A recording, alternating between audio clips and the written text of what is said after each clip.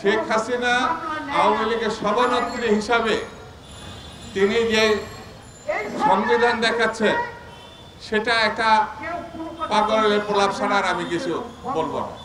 সংবিধান আগেও ছিল এখনও আছে, ভবিষ্যতেও থাকবে। কিন্তু মানুষ ভোট দিতে পারে কিনা? মানুষ ভোট কেন্দ্রে যেতে পারে কিনা? এই পরিস্থিতি না থাকলে, যেমন আইন শৃঙ্খলা বাহিনী প্রশাসন, আপনার বিচার বিভাগ। সবই তো সরকার এখন নিয়ন্ত্রণে নিয়ে নিয়েছে।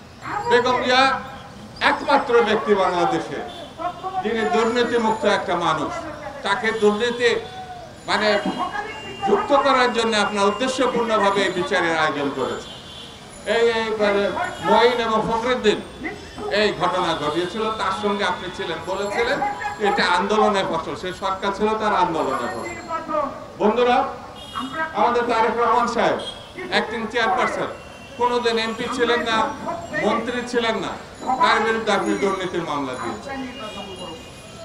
আপনাদের এই যে মানে সোশ্যাল মিডিয়াতে কার নামে কি কথা আসছে আমরা দেখতে পাচ্ছি না টেন মিলিয়ন ম্যান আমরা ইতিমধ্যে জানি টেন মিলিয়ন কে সরাইছে। দেশের টাকা কোথায়, কীভাবে আপনি চিন্তা করতে পারেন সেন্ট্রাল ব্যাংক থেকে এই যে ইসলামী ব্যাংক খুব ভালো ব্যাংক ছিল একটা, একেবারে ধ্বংস করে ফেলেছে বাংলাদেশে এমন কোনো ব্যাংক নেই যেটা ধ্বংস করে না। সেই জন্য বন্ধুরা, আমি আর বেশি কথা বলব শুধু এতটুকু বলি, বেগম জাকে মুক্তি দেন, তারেক রহমানকে আসতে দেন, পদত্যাগ করে নির্দলীয় সরকার গঠনের সহযোগিতা করুন, পার্লামেন্ট ভেঙে দেন। আর তা যদি না করেন যে পরিস্থিতির মুখোমুখি আপনি হবেন, আপনার সরকার হবে, সেটা খুব স্বস্তিদায়ক, সম্মানজনক, ভালো পরিস্থিতি, এটা চিন্তা করেন বাংলার মাটি দুর্জয় ঘাটি।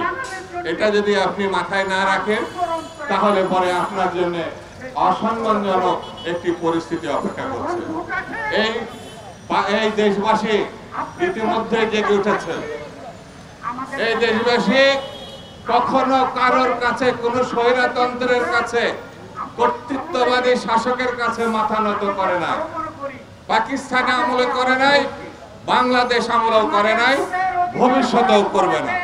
এই জাতি সব সময় শহীদ জিয়ার উন্নত। যে চিন্তা, যে ভাবনা, সেই ভাবনার মধ্যে থেকেছে। এই জাতি মুক্তিযুদ্ধের জাতি। এই জাতি লড়াইয়ের জাতি। এই সাহসী জাতি, এই জাতির সঙ্গে আপনি প্রতারণা করবেন এই জাতি মেনে নেবে। এই জাতি সেই জাতি না। সেই জন্য সবাইকে ঐক্যবদ্ধ ভাবে রাস্তায় নেমে আসতে হবে। এই স্বৈরাচারদের বিরুদ্ধে আমাদের কার্যকর আন্দোলন গড়ে তুলতে হবে।